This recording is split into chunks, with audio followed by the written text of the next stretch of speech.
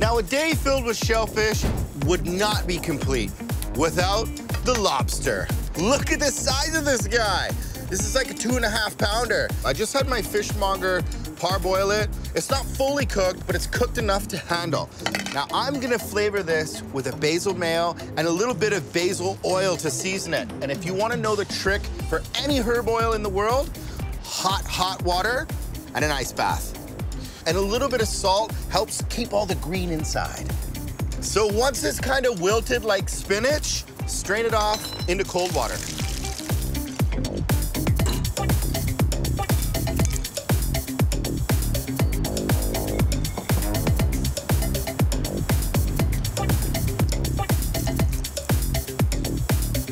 Rest of this basil oil is pretty simple. I like using canola oil. It kind of likes to take on flavor. It doesn't add any flavor to it. Just a good pinch of salt and give her a buzz.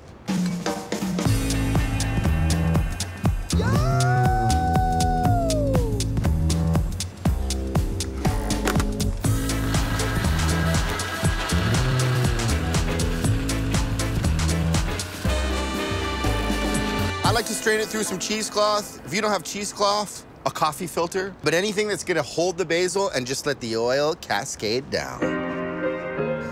So as the basil oil strains off, it gives me some time to crack on with the lobster. I like to just crack the claws and expose a little bit of the meat.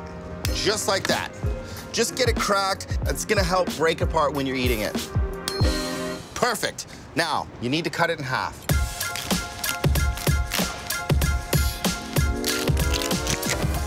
I like just giving it a little bit of a rinse.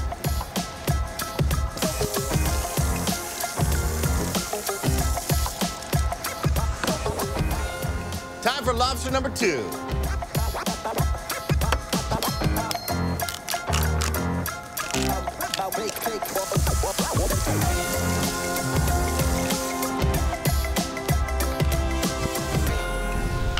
Look at the color of this basil oil. So much flavor, so much color. So good with lobster. Just a little brush of basil oil and then just a little bit of salt. Just a little bit. It's from the ocean, it doesn't need that much, just a little kiss. Let's go grill. Nice high heat for this one, friends. Normally I'd oil the grill, but I'm not. There's a lot of basil oil on the lobster, and you don't want to smoke it out or burn it. You just want some char.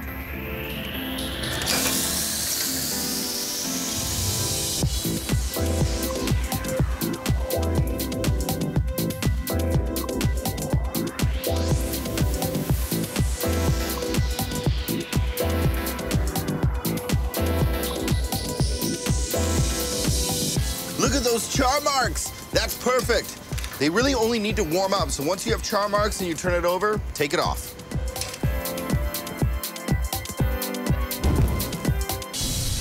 When it comes to lobsters, you gotta go all the way.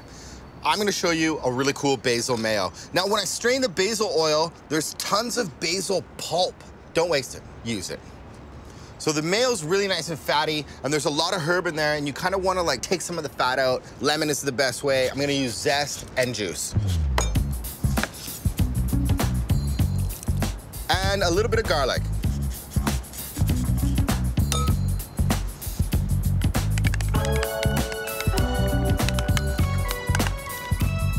Basil mayo. Yes! Lobster mayo it's for your mouth.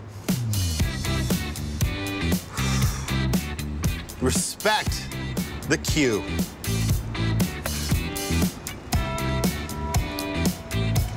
Yeah.